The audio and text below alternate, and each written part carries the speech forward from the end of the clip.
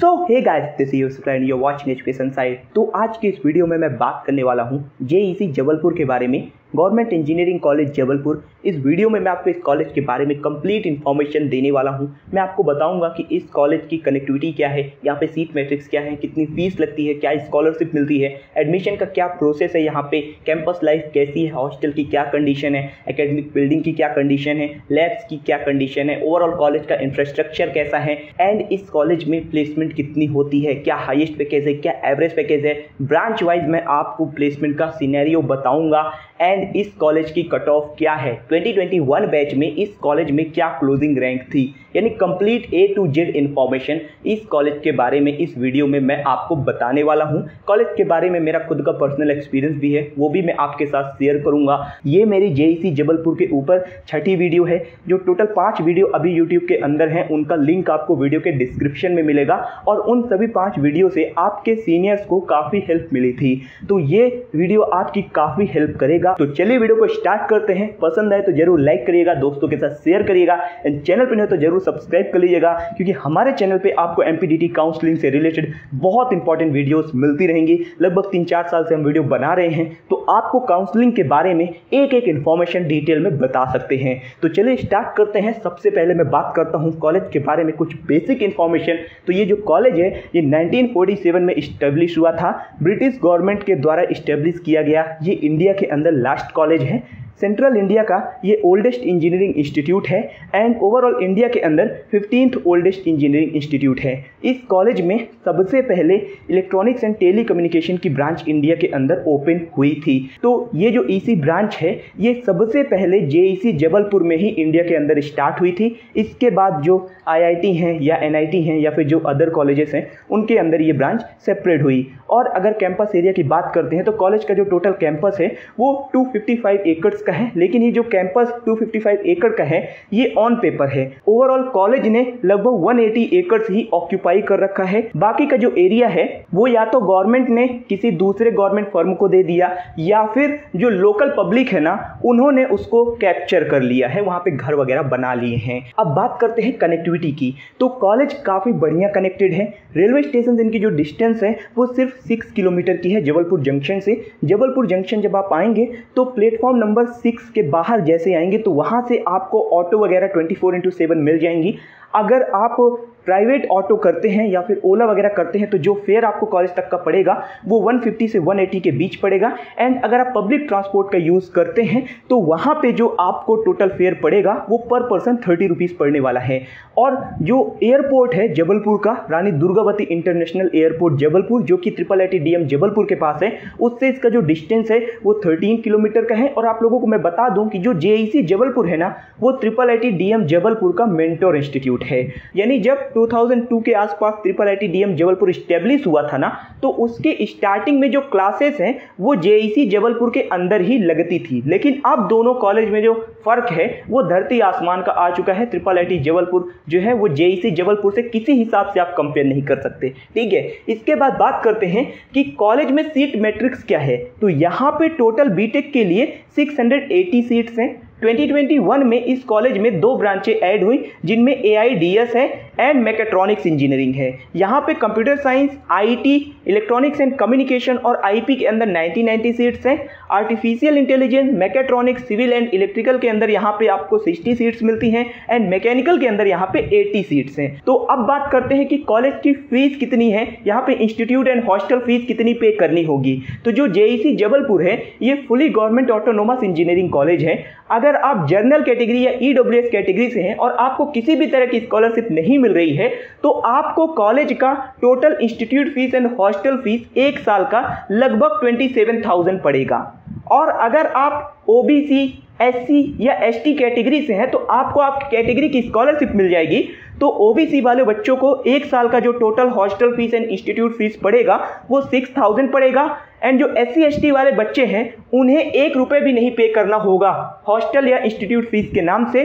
बल्कि गवर्नमेंट जो है, वो उन्हें अलग से पे करती है। जो बीटेक के दौरान इक्विपमेंट्स लगते हैं, जो बुक्स लगती हैं, जो नोट्स लगती हैं तो उनके लिए गवर्नमेंट उन्हें अलग से फंड देती है। यानी कुछ भरना तो नहीं है, अलग से आपको मिलेगा भी पढ़ने के बदले। ठीक है? और अगर आप ओबीसी ई e या जनरल कैटेगरी से हो, और आपकी जेई मेन में रैंक 1.5 लाख के अंदर है सी रैंक एंड आपकी जो फैमिली इनकम है, वो छः लाख से कम है आपका एमपी बोर्ड के अंदर ट्वेल्थ में 70 परसेंटेज है या सीबीएसई बोर्ड के अंदर आपका 85 परसेंटेज है ट्वेल्थ के अंदर तो आपको एमएमबीवाई मुख्यमंत्री मेधावी विद्यार्थी योजना का लाभ मिलेगा बेनिफिट मिलेगा, जिससे कि आपकी जो फ़ीस है, वो लगभग सिक्स थाउज़ेंड पर ईयर बनेगी इंस्टीट्यूट एंड हॉस्टल की मिला के। और ये जो सिक्स थाउज़ेंड लग रहा है ना, ये भी लास्ट में आपको स्कॉलरशिप के थ्रू ही आपके अकाउंट में वापस आ जाएगा। तो फ़ीस के नाम पे जेईसी जबलपुर में आपको बहुत ही ज़्यादा बेनिफिट मिलते हैं, आपको यहाँ पे फ़ीस बहुत कम मिलती है। तो ये कॉलेज काफ़ी अफोर्डेबल है। अगर हम कंपेयर करते हैं H D S I T S I T D A V या एम आई टी एस से तो उनके कंपैरिजन में ये जो कॉलेज है, ये काफ़ी अफोर्डेबल है और प्लेसमेंट इनकी काफ़ी बेहतर है, जो आगे वीडियो में मैं डिटेल में आपको एक्सप्लेन करूँगा। अब बात करते हैं एडमिशन प्रोसीजर की। तो यहाँ पे बीटेक के लिए सबसे पहले आपको जेई मेन का एग्ज़ाम देना होगा। जेई मेन एग्ज़ाम में जब आपको सीआरएल रैंक मिलेगी तो उस सी रैंक के बेस पे आपको एम के थ्रू काउंसलिंग करनी होती है Madhya Pradesh directorate of technical education. तो एमपीडीटी की काउंसलिंग में आप इस कॉलेज को एज अ चॉइस फिल करके यहाँ पे एडमिशन ले सकते हो। बाकी यहाँ पे M tech M C M S C और पीएचडी का भी कोर्स है तो उनके लिए आप देख सकते हो एडमिशन प्रोसीजर अब बात करते हैं कि इस कॉलेज का प्लेसमेंट कैसा है, इसके बाद हम इस कॉलेज की कैंपस लाइफ को डिस्कस करेंगे, क्योंकि प्लेसमेंट काफ़ी इंपॉर्टेंट है।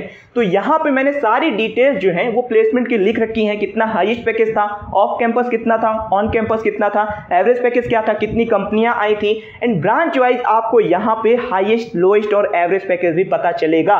और क्या क्या कंपनी आई थी, उनके डिटेल में नाम मैंने लिख रखे हैं। तो 2022 बैच में टोटल इस कॉलेज के अंदर 28 कंपनी आई थी। जिनमें 21 कंपनी आईटी फ़ील्ड से रिलेटेड थी।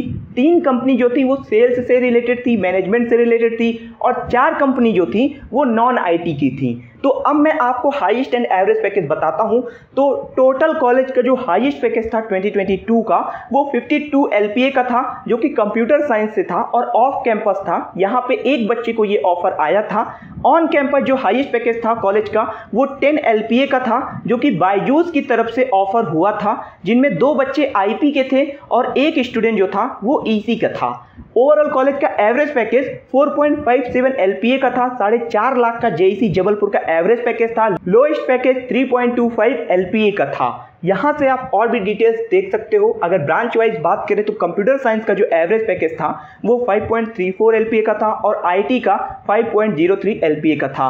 और आईपी ब्रांच जिसका कट ऑफ़ यहाँ पे सबसे लो जाता है तो उनका हाईएस्ट पैकेज 10 एलपीए का था लोएस्ट पैकेज 3.5 एलपीए का था और एवरेज पैकेज 4.5 एलपीए का था।